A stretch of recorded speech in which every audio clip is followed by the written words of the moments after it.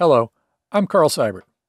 Welcome back to the second part of our video series on keywording in photomechanic. In part one, we went through all the different ways that we could use so-called flat keywording in photomechanic. In this video, we'll be doing hierarchical keywording, or as photomechanic calls it, structured keywording. Hierarchical keywording allows you to add a path of keywords to an image in one go. It also allows you to organize big keyword collections. Now, if we remember from our introductory contemplation of keywords, it's probably not a good idea, in most cases, to have a huge keyword collection. But some photographers are just going to have to. Maybe they work in stock, maybe they work in nature and wildlife, and they're dealing with taxonomies of animals and living things of some sort or another, or maybe even something like automobiles, which tend to organize themselves in taxonomies. So let's just take a look at this thing. Command Option K, or on a PC, Control Alt K, brings up the Structured Keywords dialog. You can also call it, from the Image menu, Structured Keywords panel. And here we have a big, complicated dialog. Let's take a look at this thing.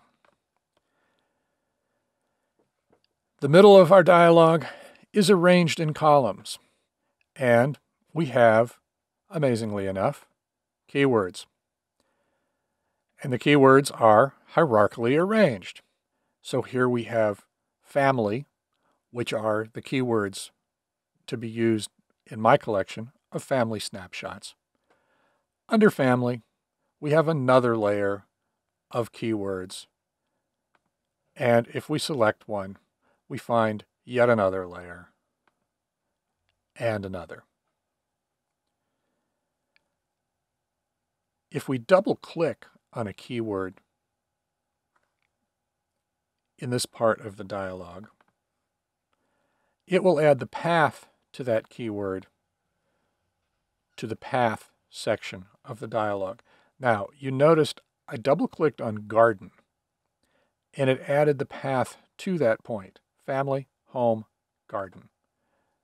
It did not go forward to plants. If I double click on plants, I'll get the path to there, but not to flowers and trees.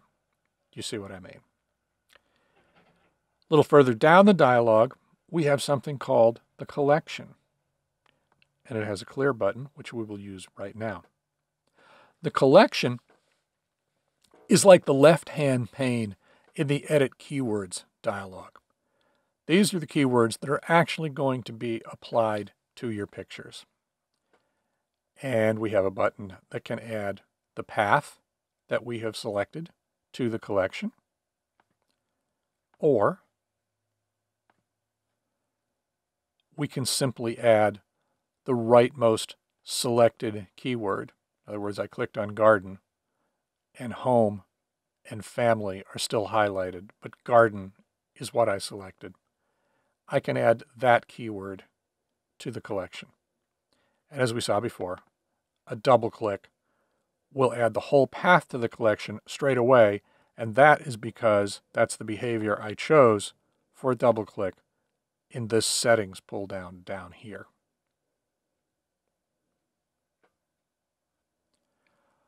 Over to the right, we can apply the keywords that we have chosen to our pictures.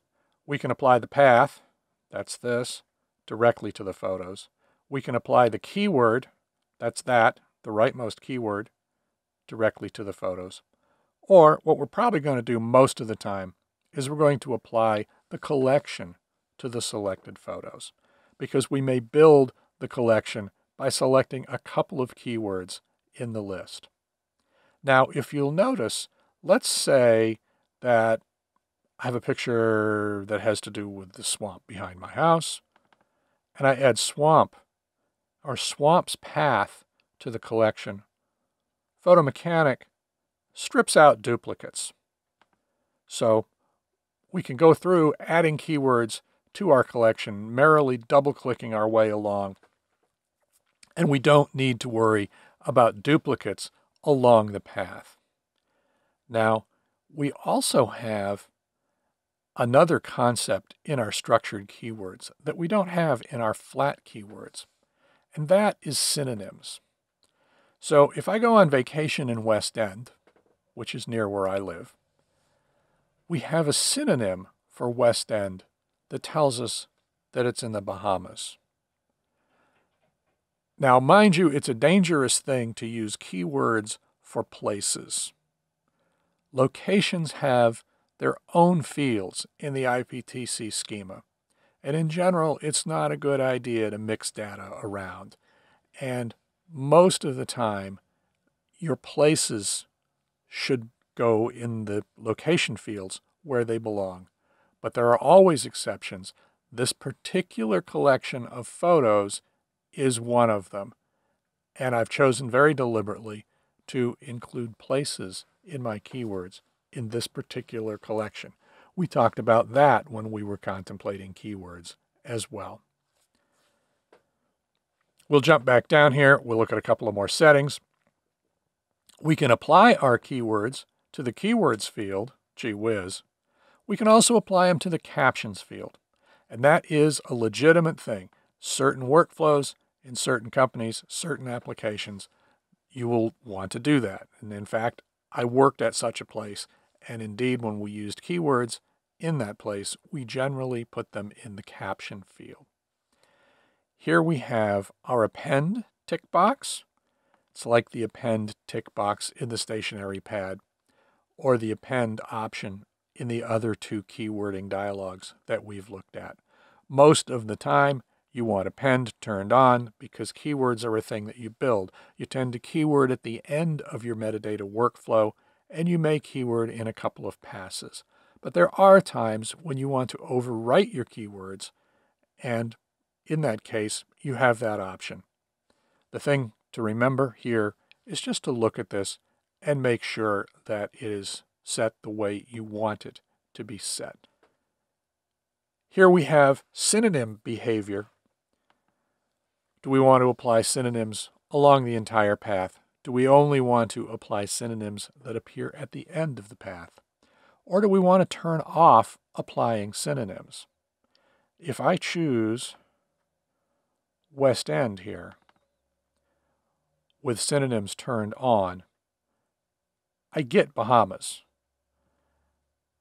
Regardless, they're sort of joined at the hip. You can unjoin them with that setting if you want to. I'm not sure why you would want to generally, because generally you put the synonyms there for a reason. And you notice I've hit this clear button a few times. That's another thing to watch out for. As you're going through photos and you're keywording your merry way along, sometimes you won't remember to clear the collection and you will end up adding paths of keywords to the last collection that you applied and you'll end up messing things up and you'll have to go back and start over or correct some of your work. Now, at the top of this dialog, we have perhaps the coolest thing. If you have really a lot of keywords, we have a search function and we can find our way through our keywords. If you turn exact match off, you can turn frac you can type in fractions of potential keywords and go ahead and hit enter or hit the find button and you get find results. Now these are all of the paths that have that keyword or that fraction of a keyword and you get to choose. If you remember back in our contemplation of keywords, we talked about Stingray, which could be a Corvette which is a Chevy, which is a car, and it's an automobile and a bunch of other things. But stingray could also be a fish or a fish like creature. So we need to be able to choose the path that we want. And in this particular case, I was actually thinking when I typed the first few letters of Spain of Port of Spain, Trinidad. So if we double click that in that chooser, it takes us to, indeed, that keyword and its path. So there you go. It was family, it was a vacation, it was in Trinidad, and it was in Port of Spain. Once again, with the caveat about putting place names in keywords. So now let's go and use this thing in a practical application. Let's keyword a couple of pictures. Here we have some pictures that I downloaded from Unsplash, and Unsplash does not put any metadata on its pictures, which is kind of tragic because we don't know anything about these turtle guys. But let's just select them and forge ahead and we'll see if we can keyword these people, or will these turtles, excuse me, or at least we'll pretend to. So we're looking at these things, and the one on the right is an African spurred tortoise. So I'm going to type in tort, and I have a whole bunch of tortoise choices, none of which are African spurred tortoises, and our other two pictures are something else altogether. So let's just pretend that we got a Texas tortoise on our hands. And here we go. Here's the path for our Texas tortoise. It includes the scientific name of said tortoise. It includes the scientific name of tortoise. And you'll notice that synonyms, which are in green here, appear one column below their parent. So this thing is the synonym for tortoise, and that is the synonym for Texas tortoise. And as we move back up this path, we have reptilia as a synonym for reptile. And these guys are all wildlife and they're all animals. And holy moly, I didn't hit the clear button and I've I've illustrated my own point. So we'll remember to clear this. And we'll double click on our Texas tortoise. So there he is in the collection. I could add more keywords to this collection. I can even type keywords in the collection. But remember, we don't want to do that. You never want to type a keyword if you can choose a keyword from your controlled vocabulary. And when we're happy with what's in our collection, we can apply it. Close our dialog. And here we go. We have that great long bunch of keywords applied to all three of our turtle pictures. And I'm pretty sure that none of these turtles are a Texas tortoise. But that's all right. We'll fix that in a few minutes. Let's go back to our structured keywords panel and talk about our controlled vocabulary keyword list for a minute. And I'll try to form a habit to remember to clear that collection every time I open this panel. Okay, we have in this panel load and save buttons. They work just like the load and save buttons anywhere else in photo mechanic. And trust me, all the work that you've put into your controlled vocabulary of keywords, you're going to want to back it up. So there you have it. You can save out your keywords to back them up. You can use the load button to restore your set of keywords if you've changed something and you want to go back or if you've moved your controlled vocabulary to a new machine. And we have yet another button, Merge. Merge is really pretty powerful. Your controlled vocabulary is going to change over time. It's going to evolve, and unfortunately, it's going to grow. That is just the nature of the thing. What your merge button allows you to do is it allows you to get maybe even a whole new controlled vocabulary, or perhaps to edit or add to your current one and merge the two together. In other words, you can add your updates to your existing controlled vocabulary without overwriting the whole thing and without going to a text editor and cutting and pasting to put in all of the new things that you want. We'll do an example of that. Here, in this hierarchy, we have categories of keywords that I use now and again for different topics. What's not in this list, it's deliberately not in this list because I deleted it for this demo, is my subset of keywords for screenshots. And I do a lot of screenshots for my blog. So what I have done is I have taken the list of screenshots that we saw in the last video when we were working in the edit keyword dialog. I've taken that list and I've marked it up in the format for Photomechanic structured keywords. Now, here's a file that's in that format. And this is actually the family snapshots. In this particular case, at the very top, this is the leftmost column, the keyword is family. One column in, we have more keywords.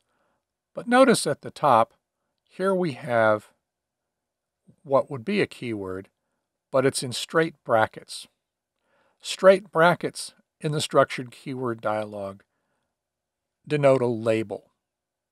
It will appear in the dialog, but it will not appear as a keyword.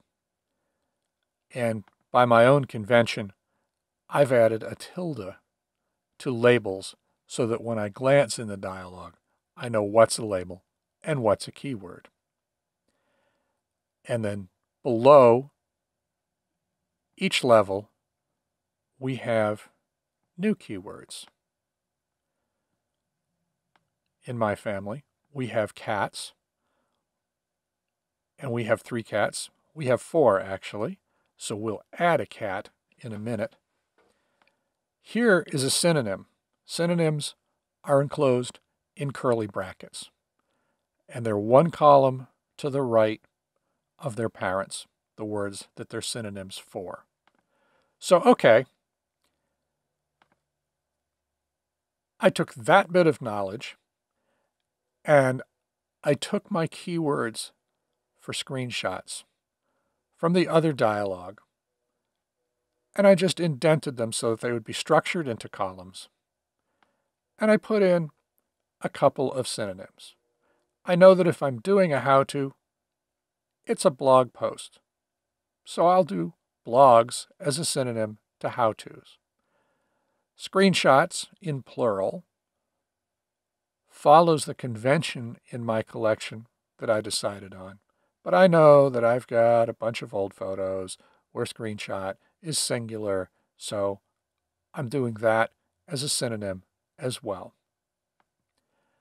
And I know that I want this to go into my label of ZZ Carl miscellaneous keywords. So thus, I built this little text file. And it's just a simple little text file. And if you were doing hundreds or thousands of keywords, you probably wouldn't want to go there. Or if you were wanting to edit one keyword in a list of thousands of keywords, you wouldn't want to go there.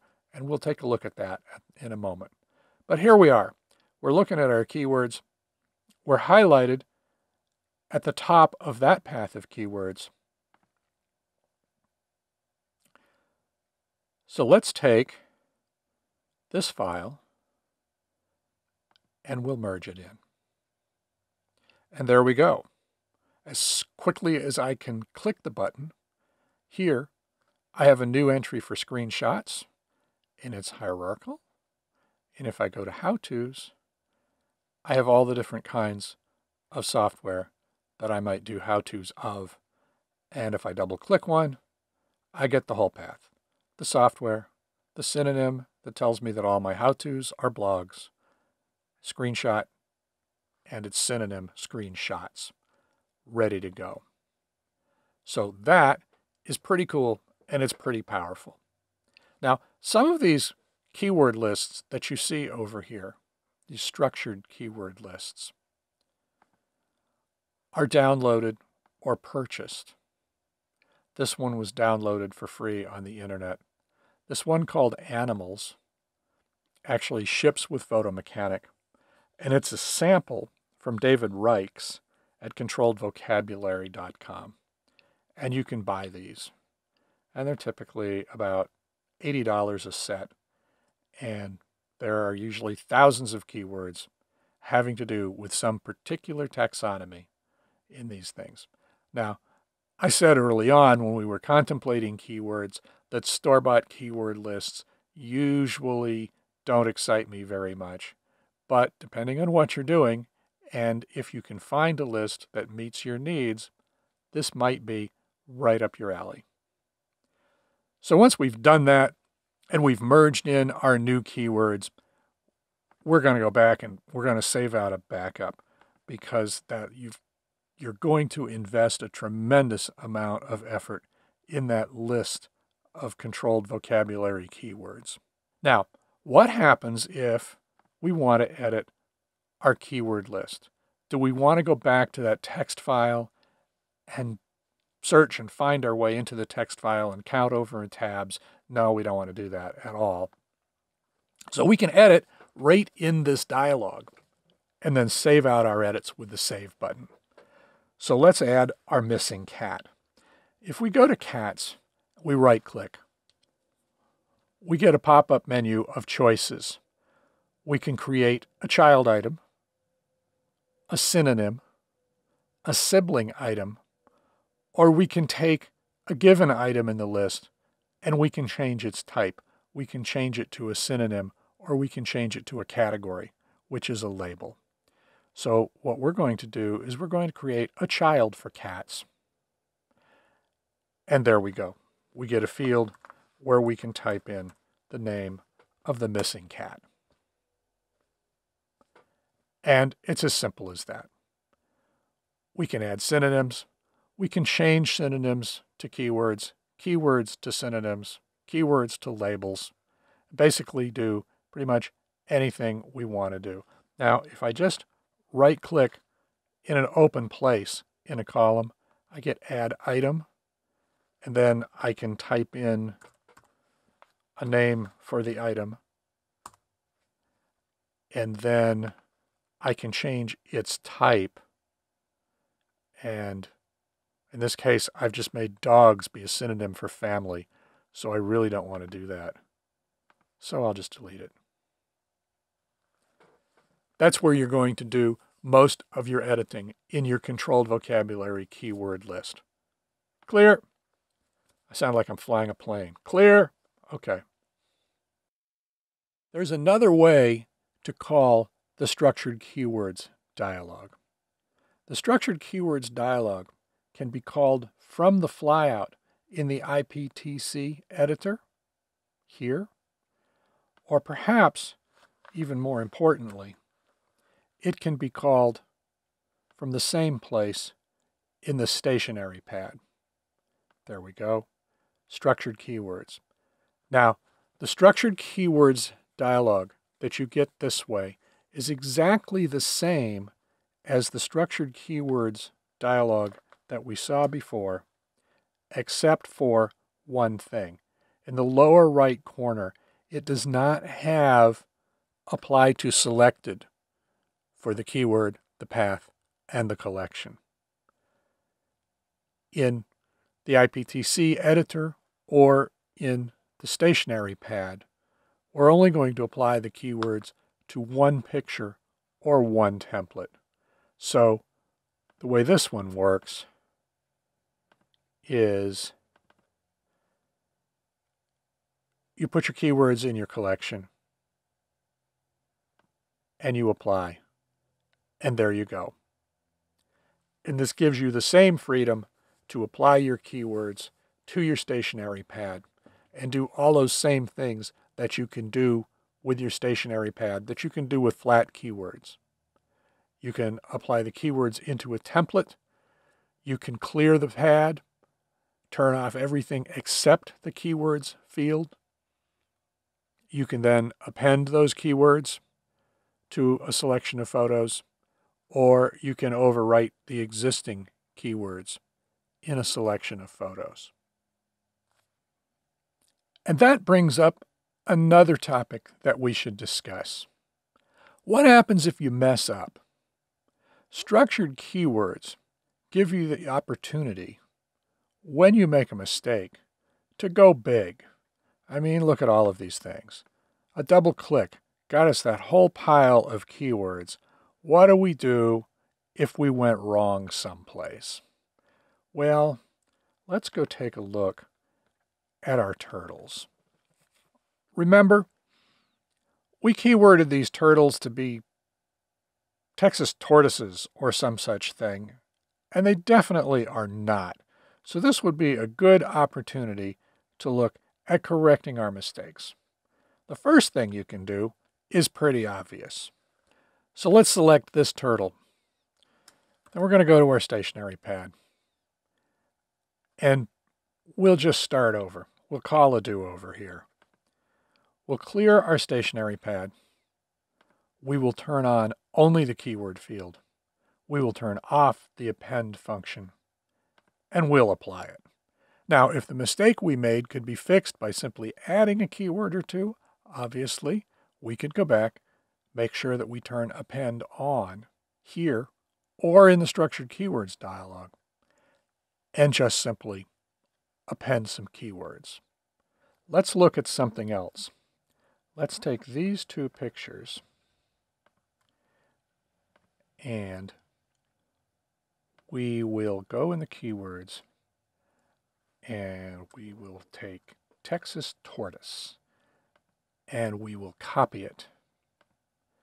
Now we're going to go to find and replace and we will add Texas tortoise and we will turn it into unknown turtle. Now we'll look at our settings. Let's do in selected items. We're going to search in the IPTC metadata. Selection preserve selection is probably fine for right now. We don't need a case sensitive search.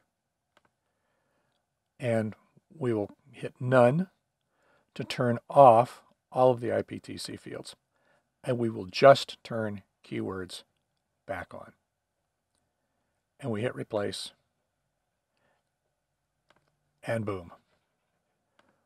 We have now replaced Texas tortoise with unknown turtle, which is probably mm-hmm. slim comfort for these three turtles, none of whom are Texas tortoises.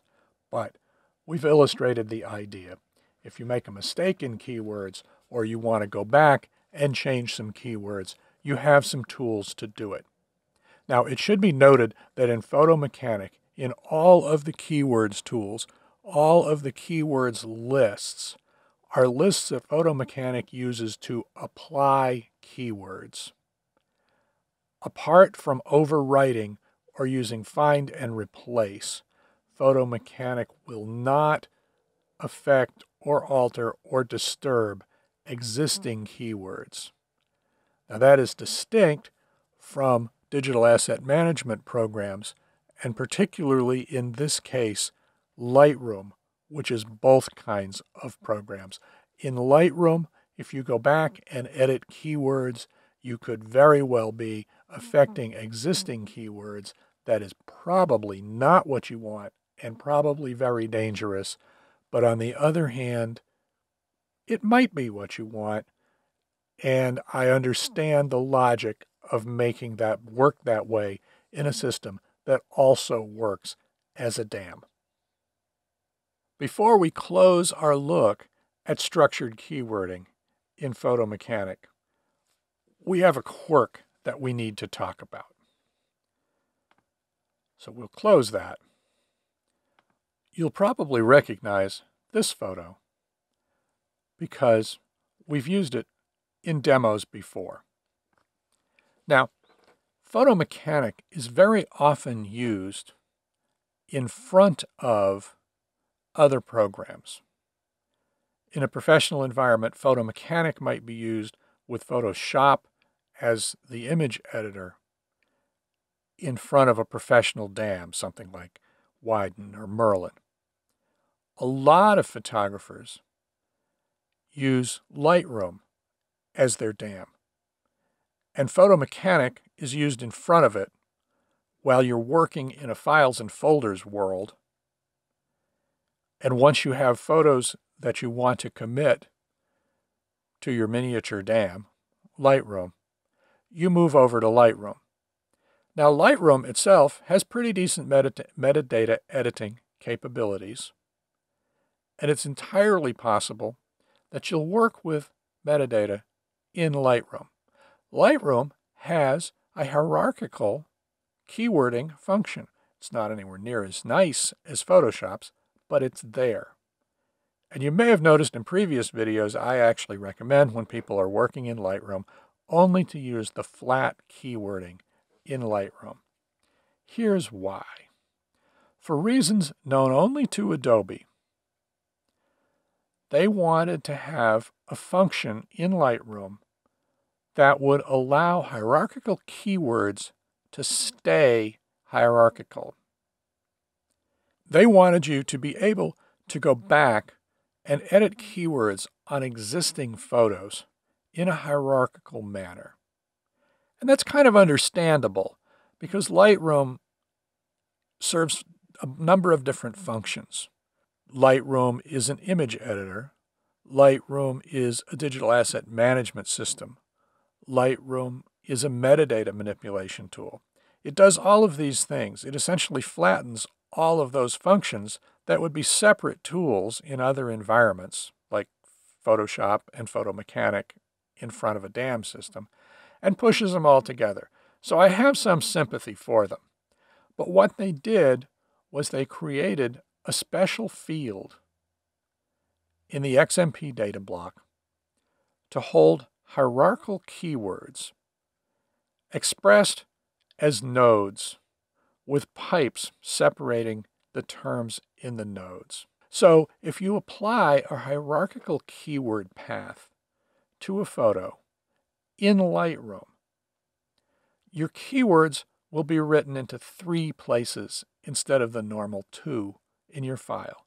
Normally, the keywords field exists in the IIM data block, and it also exists in the XMP data block. Lightroom adds another XMP field for hierarchical keywords, and it writes the keywords into all three places. Now, Photo Mechanic has the perplexing job of reading that and deciding what to do.